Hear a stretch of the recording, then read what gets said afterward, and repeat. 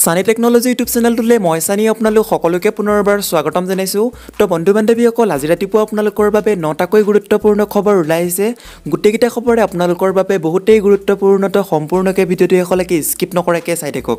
তো বন্ধু বান্ধৱীসকল এতিয়ালৈকে যদি ভিডিঅ'টো লাইক কৰা নাই প্লিজ এটা লাইক কৰিব। ভিডিঅ'টো শ্বেয়াৰ কৰিব আপোনালোকৰ ফ্ৰেণ্ডসকলৰ মাজত। আৰু এতিয়ালৈকে যদি চেনেলটো ছাবস্ক্ৰাইব কৰা নাই তলত থকা যোনটো ছাবস্ক্ৰাইব বটন আছে তাতে ক্লিক কৰি ছাবস্ক্ৰাইব কৰি। ছাইডত থকা যিটো বেল আইকন আছে প্ৰেছ কৰি অল অপশ্যনটো ক্লিক কৰিব। মই যেতিয়া আপোনালোকৰ বাবে এনেকুৱা ধৰণৰ ভিডিঅ'সমূহ দিম তেতিয়া আপোনালোকে সকলোতকৈ ফাৰ্ষ্টত ন'টিফিকেশ্যনসমূহ পাই থাকিব। তো বন্ধু বান্ধৱীসকল আহক ভিডিঅ'টো আৰম্ভ কৰোঁ। বন্ধুসকল আজিৰ প্ৰথমটো খবৰ হৈছে এটা গুৰুত্বপূৰ্ণ খবৰ। দুহেজাৰ একৈছৰ বিধানসভা নিৰ্বাচনত নাথাকিব বিজেপি বি পি এফৰ মিত্ৰতা। চিৰাঙত নিৰ্বাচনী সভাত ক'লে মন্ত্ৰী হিমন্ত বিশ্ব শৰ্মাই। আগন্তুক বিধানসভা নিৰ্বাচনত নাথাকে বি পি এফৰে বিজেপিৰ মিত্ৰতা। চিৰাঙৰ মানাহ চেৰফাং সমষ্টিৰ বিজেপিৰ প্ৰাৰ্থী। শিৱনাথ বৰ্মৰ হৈ প্ৰচাৰ চলাই মন্ত্ৰী ডক্টৰ হিমন্ত বিশ্ব শৰ্মাই এই ঘোষণা কৰে। হেলিকপ্টাৰৰ জৰিয়তে অহা মন্ত্ৰী ডক্টৰ হিমন্ত বিশ্ব শৰ্মাই নিজে স্কুটি চলাই আনন্দ বজাৰৰ সভাথলীত উপস্থিত হয়। মন্ত্ৰী ডক্টৰ হিমন্ত বিশ্ব শৰ্মাই স্কুটিৰ পিছফালে প্ৰাৰ্থী শিৱনাথ বৰ্মক লৈ সভাথলীত উপস্থিত হয়। এই সভাতে মন্ত্ৰীগৰাকীয়ে কয় যে আগন্তুক নিৰ্বাচনত বি পি এফৰে কোনো মিত্ৰতা নাথাকে। ইফালে সভাত হাগ্ৰামা মহিলাৰী নেতৃত্বাধীন বি পি এফ দলক তীব্ৰ সমালোচনা কৰি মন্ত্ৰী ডক্টৰ হিমন্ত বিশ্ব শৰ্মাই কয় যে নাঙলৰ এতিয়া কাম নাই আগন্তুক দিনত নাঙলক মিউজিয়ামত ৰাখিব লাগিব। সভাত বি টি ডিৰ ভি চি ডি চিত ব্যাপক দুৰ্নীতি কেলেংকাৰী সংঘটিত হোৱাৰ অভিযোগ কৰি আগন্তুক নিৰ্বাচনত বিজেপিৰ চৰকাৰ গঠন হ'লে পোন্ধৰ দিনৰ ভিতৰত ভি চি ডি চিসমূহ ভংগ কৰি দিয়া হ'ব বুলি মন্ত্ৰী ডক্টৰ হিমন্ত বিশ্ব শৰ্মাই ভাষণত প্ৰকাশ কৰে। এই সভাত উপস্থিত থাকি ৰাজ্যিক বিজেপিৰ সভাপতি ৰঞ্জিত কুমাৰ দাসে তেওঁ সভাপতি হৈ থকা লৈ হাগ্ৰামা মহিলাৰীক বিজেপি দললৈ অনাৰ প্ৰশ্নই নাহে বুলি সংবাদ মাধ্যমৰ আগত জানিবলৈ দিয়ে। উল্লেখযোগ্য যে চিৰাঙৰ এই সভাত সাংসদ দিলীপ শইকীয়া উপস্থিত থাকে। পাছৰটো খবৰে হৈছে চৰকাৰী কৰ্মচাৰীৰ বাবে সুখবৰ সপ্তম দৰমহা আয়োগে বৃদ্ধি কৰিব কেন্দ্ৰীয় কৰ্মচাৰীৰ মৰুগীয়া ভাত্ৰা কেন্দ্ৰীয় চৰকাৰৰ কৰ্মচাৰীসকলৰ বাবে সুখবৰ কৰোণা কালতো কেন্দ্ৰীয় ঔদ্যোগিক প্ৰতিষ্ঠানসমূহত কৰ্মৰত কৰ্মচাৰীসকলৰ মৰুগীয়া বানজ বৃদ্ধি কৰাৰ সিদ্ধান্ত গ্ৰহণ কৰিছে সপ্তম দৰমহা আয়োগে। কৰ্মচাৰীসকলে মৰুগীয়া বানজসহ বৰ্ধিত বেতন আগন্তুক দীপাৱলী পূৰ্বে পোৱাৰ সম্ভাৱনা আছে বুলি জানিব পৰা গৈছে। এই উপলক্ষে আগন্তুক বাৰ মাহৰ কৰ্মচাৰীসকলৰ C P I I W সলনি কৰাৰ পৰিকল্পনা কৰা হৈছে। ইয়াৰ দ্বাৰা কেন্দ্ৰীয় ঔদ্যোগিক প্ৰতিষ্ঠানত কৰ্মৰত আঠচল্লিছ লাখ কৰ্মচাৰীৰ মৰুগীয়া বানজ বৃদ্ধি হোৱাৰ সম্ভাৱনা আছে। সংবাদ মাধ্যমত প্ৰকাশিত খবৰ অনুসৰি ইয়াৰ ফলত কেন্দ্ৰীয় ঔদ্যোগিক প্ৰতিষ্ঠানৰ কৰ্মচাৰীৰ দৰমহা পৰিমাণ বৃদ্ধি পাব কাৰণ তেওঁলোকৰ দৰমহা চি পি আই আই ডব্লিউৰ গণনাৰ ওপৰত ভিত্তি কৰিহে মৰুগীয়া বানজ নিৰ্ধাৰণ কৰা হয়। দুহেজাৰ ষোল্ল চনক ভিত্তি কৰি কেন্দ্ৰীয় ঔদ্যোগিক প্ৰতিষ্ঠান কৰ্মৰত কৰ্মচাৰীসকলৰ বাবে নতুন কনজিউমাৰ প্ৰাইচ ইণ্ডেক্স নিৰ্ধাৰণৰ বাবে প্ৰস্তুতি চলোৱা হৈছে শ্ৰম মন্ত্ৰালয়ৰ এগৰাকী উচ্চপদস্থ বিষয়াই এইদৰে কয়। শীঘ্ৰেই কাৰ্যকাৰী হোৱাকৈ এই কৰ্মচাৰীসকলৰ মৰুগীয়া বানজ বৃদ্ধি কৰা হ'ব বুলিও কয় কেন্দ্ৰীয় শ্ৰম মন্ত্ৰালয়ৰ বিষয়াগৰাকী। বন্ধুসকল তিনি নম্বৰ খবৰটি হৈছে মুখ্যমন্ত্ৰীৰ এইসকল হিতাধিকাৰীয়ে পাব দুই কোটি পাঁচ লাখ টকা। বিভিন্ন চৰকাৰী আঁচনিৰ দৰে মুখ্যমন্ত্ৰী সৰ্বানন্দ সোণোৱালে সোমবাৰে গুৱাহাটীৰ খানাপাৰাস্থিত প্ৰশাসনীয় পদাধিকাৰী মহাবিদ্যালয়ত অসম অসামৰিক খাদ্য যোগান নিগমৰ নিগমৰ অধীনত ধান বনাম মিল স্থাপন আঁচনিৰ কাৰ্যসূচীৰ শুভাৰম্ভণি কৰে। দুহেজাৰ একৈছ চনৰ বিধানসভা নিৰ্বাচনলৈ দিন চমু চাপি অহাৰ লগে লগে ৰাজ্য চৰকাৰে এখনৰ পিছত আনখন আঁচনি ঘোষণা কৰিবলৈ তৎপৰ হৈ পৰিছে।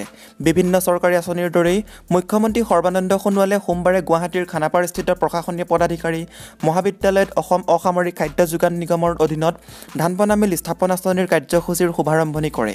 এই অনুষ্ঠানত উপস্থিত থাকে মুখ্যমন্ত্ৰী সৰ্বানন্দ সোণোৱালৰ উপৰি অসামৰিক খাদ্য যোগান বিভাগৰ মন্ত্ৰী ফণীভূষণ চৌধুৰী মন্ত্ৰী কেশৱ মহন্ত মুখ্যমন্ত্ৰীৰ প্ৰেছ উপদেষ্টা ঋষিকেশ গোস্বামী মন্ত্ৰী নৱকুমাৰ দলেৰ লগতে অন্যান্য বিষয়ববীয়াসকল।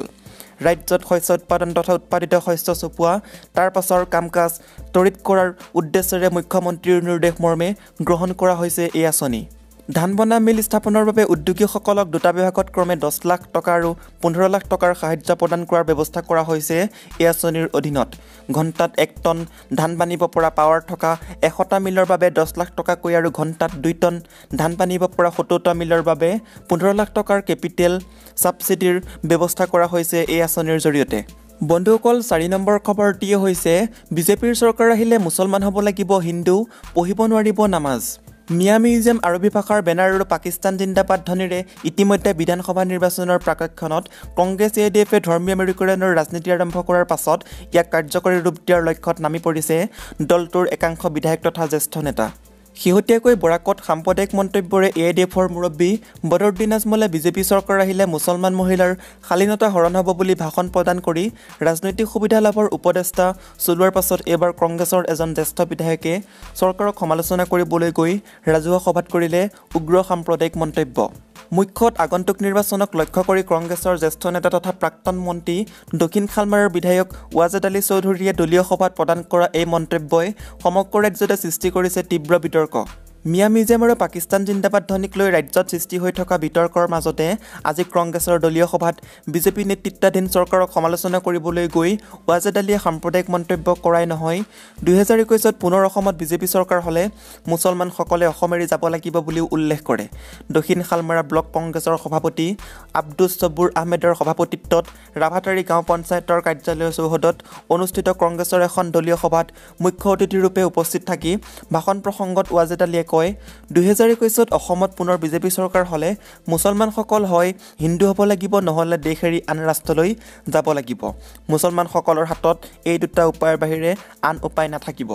বিজেপিক সাম্প্ৰদায়িক চৰকাৰ বুলি দাবী কৰি এই চৰকাৰৰ দিনতে মুছলমান সৰ্বাধিক নিৰ্যাতিত হোৱা বুলিও মন্তব্য কৰে। এক সাম্প্ৰদায়িক সংঘৰ্ষ সৃষ্টিৰ লক্ষ্যৰে ৱাজেদ আলী চৌধুৰীয়ে আনকি বিজেপি চৰকাৰ আহিলে মছজিদত আজান দিয়া বন্ধ কৰাৰ লগতে নামাজ পঢ়া বন্ধ কৰিব বুলিও আজব সাম্প্ৰদায়িক মন্তব্য কৰে। তেওঁ লগতে এই বুলিও কয় প্ৰধানমন্ত্ৰীয়ে ভাষণ দিয়া লালকিল্লা আৰু দেশৰ গৌৰৱ তাজমহল মুছলমানৰ সম্প্ৰতি ৰাম মন্দিৰ নিৰ্মাণ প্ৰসংগত দেশৰ উচ্চতম ন্যায়ালয়ৰ প্ৰাক্তন ন্যায়াধীশ ৰঞ্জন গগৈ দিয়া ঐতিহাসিক ৰায়ৰ প্ৰসংগতো তেওঁ কয় প্ৰাক্তন মুখ্য ন্যায়াধীশগৰাকীয়ে নিজৰ এক্তিয়াৰত কোনো প্ৰমাণ নোহোৱাকৈ ৰাম মন্দিৰৰ ওপৰত ৰায় দিছে। ইফালে কংগ্ৰেছ এ ডি এফৰ মিত্ৰতাক সমৰ্থন কৰি ৱাজেদ আলীয়ে কয় বিহাৰ নিৰ্বাচনত আছাদুদ্দিন ওৱেচিয়ে প্ৰাৰ্থিত্ব দিয়াৰ বাবে মুছলমান ভোট বিভাজন হৈ মহাজোটবন্ধনে চৰকাৰ গঠন কৰিব নোৱাৰিলে। দুহেজাৰ ষোল্ল চনৰ নিৰ্বাচনতো আজমলে সংখ্যালঘু এলেকাত প্ৰাৰ্থিত্ব দিয়াৰ বাবে কংগ্ৰেছ পৰাস্ত হৈ বিজেপি চৰকাৰ শাসনলৈ অহাৰ সুবিধা হ'ল। কিন্তু এইবাৰ কংগ্ৰেছ এ ডি এফ একত্ৰিত হৈ বিজেপিৰ বিৰুদ্ধে নিৰ্বাচন খেলিব। ইতিমধ্যে দলৰ পৰ্যবেক্ষক জিতেন্দ্ৰ সিঙক এই মিত্ৰতা নিশ্চিত কৰাৰ বাবে দাবী জনোৱা হৈছে। সাম্প্ৰদায়িক বিষ বাষ্প বিয়পোৱাৰ লক্ষ্যৰে ৱাজেদ আলী চৌধুৰীয়ে আজি প্ৰদান কৰা এই ভাষণক লৈ ৰাজ্যজুৰিত সৃষ্টি হৈছে তীব্ৰ প্ৰতিক্ৰিয়া। ইয়াৰ পূৰ্বে শ্ৰীমন্ত শংকৰদেৱ কলাক্ষেত্ৰত মিয়া মিউজিয়াম স্থাপনৰ বাবে প্ৰস্তাৱ উত্থাপন কৰিছিল দলটোৰে আন এজন বিধায়ক চেয়াৰমেন আলী আহমেদে। মুখ্যত মুছলমান ভোট একত্ৰিত কৰাৰ লক্ষ্যৰে শেহতীয়াকৈ কংগ্ৰেছৰ একাংশ নেতাই পৰিকল্পিত লক্ষ্যৰে ক্ৰমাগতভাৱে কৰি আহিছে সাম্প্ৰদায়িক মন্তব্য। কংগ্ৰেছ এ ডি এফৰ মিত্ৰতাৰ জৰিয়তে ক্ষমতা দখলৰ অংকত নামি পৰা কংগ্ৰেছৰ বিধায়ক ৱাজেদ আলী চৌধুৰীয়ে আনকি এই মিত্ৰতাক লৈ উজনি অসমত প্ৰভাৱ পৰিব বুলি শেহতীয়াকৈ চলা চৰ্চাকো নৎসাত কৰি এই বুলি মন্তব্য কৰে যে উজনি অসমৰ মানুহক গুৰুত্ব দি লাভ নাই। কংগ্ৰেছ এ ডি এফৰ মিত্ৰতাইহে পুনৰ চৰকাৰ গঠন কৰিব পাৰিব। সভাত বিজেপি চৰকাৰখনক সমালোচনা কৰি কংগ্ৰেছী বিধায়কজনে কয় এইখন চৰকাৰৰ দিনত পঞ্চায়তৰ উন্নয়নৰ নামত অহা এনৰেগা আঁচনিৰ ধন মোকলাবলৈ চৰকাৰক বিছ শতাংশ কমিশ্যন দিব লাগে। সেয়াই নহয় বিধায়ক পুঁজিৰ পৰা কাম কৰিবলৈ হ'লেও দহ শতাংশ চৰকাৰক দিব লাগে। পাছৰটো খবৰ হৈছে শ্বহীদ হৰধন চন্দ্ৰ ৰায়লৈ শেষ শ্ৰদ্ধা মুখ্যমন্ত্ৰী সৰ্বানন্দ সোণোৱালৰ পৰিয়াললৈ বিছ লাখ টকাৰ সাহায্য ঘোষণা। জম্মু কাশ্মীৰৰ উৰি ছেক্টৰত পাকিস্তানী সেনাৰ আকস্মিক আক্ৰমণত আত্মবলিদান দিয়া ভাৰতীয় সেনাৰ জোৱান অসম সন্তান হৰধন চন্দ্ৰ ৰায়ৰ নশ্বৰ দেহত শেষ শ্ৰদ্ধা জ্ঞাপন কৰিলে মুখ্যমন্ত্ৰী সৰ্বানন্দ সোণোৱালে। সোণোৱালে আজি গুৱাহাটীৰ বশিষ্ঠ আৰ্মি আৰ্মি বেছ হস্পিটেলত উপস্থিত হৈ মুখ্যমন্ত্ৰী সৰ্বানন্দ সোণোৱালে বীৰ শ্বহীদগৰাকীৰ নশ্বৰ দেহত পুষ্পমাল্য অৰ্পণ কৰি শ্ৰদ্ধা জ্ঞাপন কৰে। মুখ্যমন্ত্ৰী সৰ্বানন্দ সোণোৱালে শ্ৰদ্ধা অৰ্পণ কৰি কয় যে দেশৰ বৃহত্তৰ স্বাৰ্থত আত্মবলিদান দিয়া শ্বহীদ হৰধন চন্দ্ৰ ৰায়ে দেশৰ একতা অখণ্ডতা আৰু সাৰ্বভৌমত্ব অক্ষুণ্ণ ৰখাৰ বাবে নিৰ্ভীকতাৰে যুঁজ দি দেশপ্ৰেমৰ উজ্জ্বল নিদৰ্শন দেখুৱাই গৈছে। বীৰ শ্বহীদগৰাকীৰ ত্যাগে দেশ মাতৃৰ সুৰক্ষাৰ বাবে চৰম ত্যাগৰ মানসিকতাৰে আগবাঢ়ি যাবলৈ সকলোকে অনুপ্ৰাণিত কৰিব। বীৰ শ্বহীদগৰাকীৰ সাহস ত্যাগ আৰু ৰাষ্ট্ৰৰ প্ৰতি থকা দায়বদ্ধতাৰে আগবঢ়োৱা সেৱাই ৰাজ্যবাসীক গৌৰৱান্বিত কৰিছে আৰু দেশ সেৱাত আত্মনিয়োগ কৰিবলৈ সকলোকে উৎসাহিত কৰিছে। মুখ্যমন্ত্ৰী সৰ্বানন্দ সোণোৱালে বীৰ শ্বহীদগৰাকীৰ পৰিয়ালবৰ্গলৈ গভীৰ সমবেদনা জ্ঞাপন কৰে। মুখ্যমন্ত্ৰীয়ে লগতে কয় যে বীৰ শ্বহীদগৰাকীৰ চৰম ত্যাগৰ প্ৰতি সন্মান জনাই তেওঁৰ আত্মীয়ক বিছ লাখ টকাৰ আৰ্থিক সাহায্য আগবঢ়াব। পাছৰটো খবৰ হৈছে স্কুটি নিবলৈ আহিছে বহু শিক্ষাৰ্থী যুৱতী। পিছে চলাব কেনেকৈ? দায়িত্ব দিছে দেউতাকক। স্কুটি নিবলৈ ভিৰ উচ্চতৰ মাধ্যমিক পৰীক্ষাত প্ৰথম বিভাগত উত্তীৰ্ণ হোৱা শিক্ষাৰ্থী যুৱতীৰ পিছে সেই স্কুটি প্ৰকৃতাৰ্থত লাভ কৰিব কোনে? শিক্ষাৰ্থী যুৱতীয়ে নে সেই শিক্ষাৰ্থীৰ দেউতাকে? অসম শিক্ষা বিভাগৰ অধীনত দুহেজাৰ বিছ বৰ্ষৰ উচ্চতৰ মাধ্যমিক পৰীক্ষাত প্ৰথম বিভাগত উত্তীৰ্ণ হোৱা শিক্ষাৰ্থী যুৱতীক স্কুটি প্ৰদানৰ বাবে চৰকাৰে ঘোষণা কৰা সেই সিদ্ধান্তৰ বাবে আজি বহু দীঘলীয়া লাইন পাতে বহু যুৱতীয়ে। শ শ শিক্ষাৰ্থী যুৱতীয়ে ভিৰ কৰিলে গুৱাহাটী মহানগৰৰ এখন ডিলাৰত। মহানগৰৰ এ বি চিৰ ব্ৰিজমোহন হিৰ' ডিলাৰ সন্মুখত শিক্ষাৰ্থীসকলৰ দীঘলীয়া শাৰী। অৱশ্যে আজিয়ে লাভ নকৰি স্কুটি স্কুটি নিয়াৰ বাবে ডিলাৰত পঞ্জীয়ন কৰিবলৈ ভিৰ কৰিছে শিক্ষাৰ্থীয়ে যাৱতীয় প্ৰ পত্ৰ পূৰণৰ বাবে ব্ৰিজমোহন হিৰ' ডিলাৰত স্কুটি ৰেজিষ্টাৰৰ বাবে শিক্ষাৰ্থীসকলৰ পৰা সংগ্ৰহ কৰা হৈছে সকলো নথি পত্ৰ স্কুটিসমূহ নথি পত্ৰ সংগ্ৰহৰ পাছত বিদ্যালয়সমূহলৈ পঠোৱা হ'ব বুলি জনাই ডিলাৰখনৰ ছেলছ মেনেজাৰে পাছৰটো খবৰ হৈছে মন্ত্ৰীৰ নাম সাঙুৰ খাই পৰাত এছ আই প্ৰশ্নকাকত ফাদিল কেলেংকাৰীৰ তদন্ত বন্ধ হ'ল গুৰুত্বৰ অভিযোগ কংগ্ৰেছৰ। মুখ্যমন্ত্ৰী সৰ্বানন্দ সোণোৱালৰ মন্ত্ৰীসভাৰ দুয়োগৰাকী মন্ত্ৰীৰ নাম সাঙুৰ খাই পৰাৰ লগে লগে অসম আৰক্ষীৰ উপ পৰিদৰ্শক পৰীক্ষাৰ প্ৰশ্নকাকত ফাদিল কেলেংকাৰীৰ তদন্ত বন্ধ হ'ল। সোমবাৰে সংবাদমেল অনুষ্ঠিত কৰি এই দাবী উত্থাপন কৰে প্ৰদেশ কংগ্ৰেছৰ কমিটিৰ মিডিয়া কোষৰ অধ্যক্ষ ভগীৰথ কৰণে। অসম প্ৰদেশ কংগ্ৰেছ কমিটিয়ে সাংবাদিক আৰু সংবাদকৰ্মীৰ নিৰাপত্তা সুনিশ্চিত কৰিবলৈ ৰাজ্য চৰকাৰক দাবী জনাই ৰাজ্য চৰকাৰে নিবনুৱা সমস্যা সমাধানত চূড়ান্তভাৱে ব্যৰ্থ হোৱাৰ অভিযোগ তোলে কংগ্ৰেছে। ইফালে অসম লোকসেৱা আয়োগে বিগত তিনি বছৰ পৰীক্ষা অনুষ্ঠিত কৰিব নোৱাৰাটো দুৰ্ভাগ্যজনক বুলি কয় কংগ্ৰেছ নেতা ভগীৰথ কৰণে। হিমন্ত বিশ্ব শৰ্মাৰ অধীনৰ উচ্চ শিক্ষা বিভাগৰ ফোপোলা স্বৰূপ। বিষয়ে উদঙাইছে বুলি সংবাদমেলত অভিযোগ কৰে কংগ্ৰেছে। পাছৰ দুখবৰ হৈছে মিয়া সংস্কৃতিৰ জন্ম দি আগ্ৰাসন বাংলাদেশীৰ। বিহাৰ নিৰ্বাচনত বিজেপিৰ জয়লাভে আগন্তুক পশ্চিমবংগ আৰু অসম নিৰ্বাচনত বিজেপিৰ পক্ষত ইতিবাচক প্ৰভাৱ পেলাব।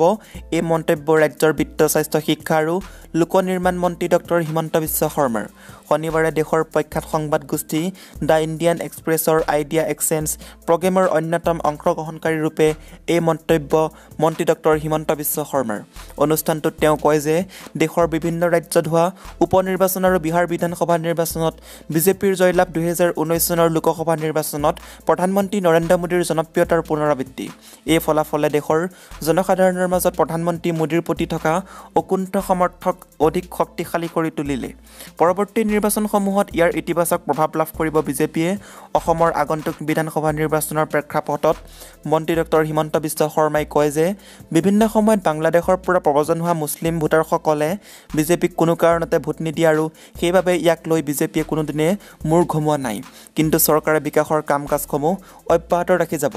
মন্ত্ৰী ডক্টৰ হিমন্ত বিশ্ব শৰ্মাই লগতে কয় অসমৰ আগন্তুক বিধানসভা নিৰ্বাচন মূলতঃ দুটা ইছ্যুৰ ওপৰত নিৰ্ভৰ কৰিব। এটা হৈছে বিজেপি চৰকাৰৰ বিকাশমুখী কাম কাজ আৰু আনটো হৈছে দুটা সংস্কৃতিৰ মাজত হোৱা সংঘাত। অসমত এতিয়া দুটা সংস্কৃতিৰ মাজত সংঘাত অব্যাহত আছে। অসমীয়া সংস্কৃতিৰ বিৰুদ্ধে বাংলাদেশৰ পৰা প্ৰব্ৰজন কৰা মুছলমানসকলে মিয়া সংস্কৃতি নামেৰে এটা নতুন সংস্কৃতিৰ জন্ম দিছে। মিয়া কবিতা মিয়া বিদ্যালয় এইবোৰ হৈছে মিয়া সংস্কৃতিৰ অংশ বিশেষ। এই মিয়া সংস্কৃতি এতিয়া অসমীয়া সংস্কৃতিৰ বিৰুদ্ধে আগ্ৰাসী ৰূপ ধাৰণ কৰিছে আৰু অসমীয়া সংস্কৃতিৰ সুৰক্ষাৰ বাবে মিয়া সংস্কৃতিৰ বিৰুদ্ধে যুদ্ধ ঘোষণা কৰিছোঁ। এই যুঁজ হিন্দু মুছলমানৰ নহয় এই যুঁজ ধৰ্মীয় যুঁজ নহয়। এই যুঁজ সাংস্কৃতিক আগ্ৰাসনৰ বিৰুদ্ধেহে। এই যুঁজত অসমৰ মুছলিম ধৰ্মাৱলম্বী লোকেও আমাক সমৰ্থন জনাই আহিছে। অসমীয়া মুছলমান ধৰ্মাৱলম্বী লোকে বিজেপিক ভোটদান কৰিছে আৰু সমৰ্থন কৰি আহিছে। আগন্তুক বিধানসভা নিৰ্বাচনত বিজেপিয়ে অসমীয়া সংস্কৃতি ৰক্ষা কৰাৰ যুঁজত নামিব বুলি উল্লেখ কৰি নিজ বক্তব্যত মন্ত্ৰী ডক্টৰ হিমন্ত বিশ্ব শৰ্মাই কয় আমি যিকোনো মূল্যৰ বিনিময়ত সম্বন্ধিত বহুমাত্ৰিক অসমীয়া সংস্কৃতি ৰক্ষা কৰিব লাগিব। অসমলৈ বাংলাদেশৰ পৰা অহা প্ৰব্ৰজনকাৰীৰ বাহিৰে আন সকলো লোকে বৃহত্তৰ অসমীয়া সংস্কৃতিৰ সৈতে বিলীন হৈ গৈছে। এই ভিন্ন সংস্কৃতিৰ সম্বন্ধতে বৃহত্তৰ অসমীয়া সংস্কৃতি গঢ়ি উঠিছে। কিন্তু বাংলাদেশী প্ৰব্ৰজনকাৰীসকল বৃহত্তৰ অসমীয়া সংস্কৃতিৰ মাজত পৃথক পৰিচয় সৃষ্টি কৰাৰ ষড়যন্ত্ৰ অব্যাহত ৰাখিছে। তেওঁলোকে এতিয়া অসমীয়া সংস্কৃতিৰ মাজত নিজৰ স্থান উলিওৱাৰ চেষ্টা অব্যাহত ৰাখিছে। শেহতীয়াকৈ সৃষ্টি হোৱা মিয়া মিউজিয়ামৰ প্ৰসংগ উল্লেখ কৰি মন্ত্ৰী ডক্টৰ হিমন্ত বিশ্ব শৰ্মাই নিজ বক্তব্যত কয় শ্ৰীমন্ত শংকৰদেৱ অসমৰ বৈষ্ণৱ আন্দোলনৰ প্ৰধান সংস্কাৰক। এই মহাপুৰুষ জনাই অসমত সাংস্কৃতিক নৱজাগৰণৰ সৃষ্টি কৰাৰ লগতে হিন্দু ধৰ্মৰ আধ্যাত্মিক দিশৰ ওপৰতো গুৰুত্ব দি অসমৰ সমাজ জীৱনত এক নতুন ধাৰা সৃষ্টি কৰিছিল। তেওঁৰ ধৰ্মীয় সাংস্কৃতিক আন্দোলনটো আগুৱাই নিবলৈ অসমত সত্ৰ নামঘৰ আদি স্থাপন কৰিছিল। বিজেপি চৰকাৰে এইসমূহত বাংলাদেশী প্ৰব্ৰজনকাৰীয়ে চলোৱা বেদখল ইতিমধ্যে উচ্ছেদ কৰিবলৈ সক্ষম হৈছে। এতিয়া মহাপুৰুষ শ্ৰীমন্ত শংকৰদেৱৰ নামত প্ৰতিষ্ঠা কৰা শ্ৰীমন্ত শংকৰদেৱ কলাক্ষেত্ৰ নামৰ ৰাজ্যৰ সন্মানীয় সাংস্কৃতিক অনুষ্ঠানখনৰ ওপৰতো আগ্ৰাসন চলাইছে বাংলাদেশী অনুপ্ৰৱেশকাৰীয়ে। শ্ৰীমন্ত শংকৰদেৱ কলাক্ষেত্ৰতেই যি সময়ত মহাপুৰুষজনাৰ বৈষ্ণৱ সাংস্কৃতিক নৱজাগৰণক প্ৰতিফলিত কৰিছে তাত এতিয়া মিয়া মিউজিয়াম স্থাপনৰ দাবী উত্থাপন হৈছে।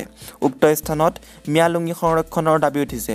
তাৰ বিৰুদ্ধে আমি যুঁজ দিবই লাগিব এনে আগ্ৰাসনে আমাৰ অসমীয়া সংস্কৃতি ধ্বংস কৰিব।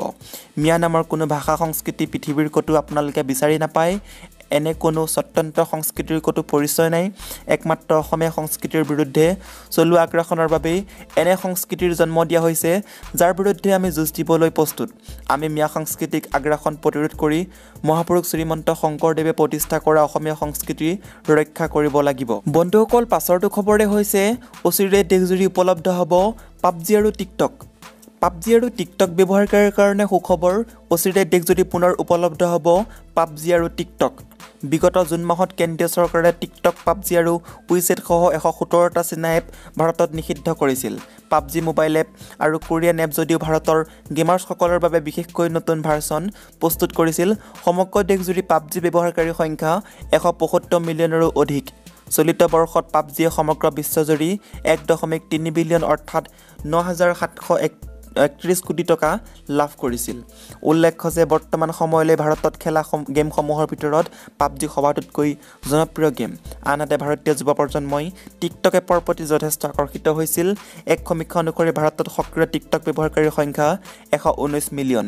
ইয়াৰ লগতে টিকটক ডাউনলোডকাৰীৰ সংখ্যা দুই দুইশ সাতসত্তৰ দশমিক ছয় মিলিয়ন। বন্ধুসকল আজিৰ শেহতীয়া খবৰটো হৈছে মুখ্যমন্ত্ৰীক শাসনৰ পৰা আঁতৰাবলৈ উচ্চতম ন্যায়ালয়ত গোচৰ সোমবাৰে শুনানি। মুখ্যমন্ত্ৰীক শাসনৰ পৰা আঁতৰাবলৈ এইবাৰ উচ্চতম ন্যায়ালয়ত আবেদন সোমবাৰে শুনানি গ্ৰহণ কৰা হ'ব। অন্ধ্ৰপ্ৰদেশৰ মুখ্যমন্ত্ৰী ৱাই এছ জগমোহন ৰেড্ডীক শাসনৰ পৰা আঁতৰোৱাৰ প্ৰসংগত উচ্চতম ন্যায়ালয়ৰ এগৰাকী ন্যায়াধীশৰ প্ৰসংগত কৰা মন্তব্যৰ বাবে শুভৰ সন্মুখীন হৈছে মুখ্যমন্ত্ৰীগৰাকী। উল্লেখ্য যে মুখ্য ন্যায়াধীশ এছ এ বুবডেলৈ এখন পত্ৰ লিখিছিল মুখ্যমন্ত্ৰীগৰাকীয়ে। সেই পত্ৰত ন্যায়াধীশ এন ভি ৰামানৰ বিৰুদ্ধে জঘন্য অপৰাধ অনাৰ অভিযোগ যাৰ বাবে ৰাজহুৱা এখন আবেদনৰ শুনানি গ্ৰহণ কৰি ন্যায়াধীশ উদয় উমেশ ললিতৰ বিচাৰপীঠে মুখ্যমন্ত্ৰীগৰাকীলৈ কাৰণ দৰ্শোৱাৰ জাননী প্ৰেৰণ কৰিছে। উল্লেখ্য যে ৰাজহুৱা স্বাৰ্থজনিত আবেদনখন দাখিল কৰিছে অধিবক্তা জি এছ মানি প্ৰদীপ কুমাৰ যাদৱ আৰু এছ কে সিং। ইফালে আবেদনখনত ইয়াকো লিখিছে যে জগমোহন ৰেড্ডীৰ বিছটাৰো অধিক অপৰাধমূলক গোচৰত নাম সাঙুৰ খাইছে। তো বন্ধু বান্ধৱীসকল আজিৰ ভিডিঅ'টোৰ মাধ্যমেৰে আপোনালোকক বহুকেইটা গুৰুত্বপূৰ্ণ খবৰ দিব চেষ্টা কৰিলোঁ। যদি খবৰকেইটা শুনি ভাল লাগিছে লাইক কৰিব শ্বেয়াৰ কৰিব। চেনেলটো ছাবস্ক্ৰাইব কৰি ছাইডত থকা যিটো বেল আইকন আছে প্ৰেছ কৰি অল অপশ্যনটো ক্লিক কৰিব একেবাৰে নাপাহৰিব।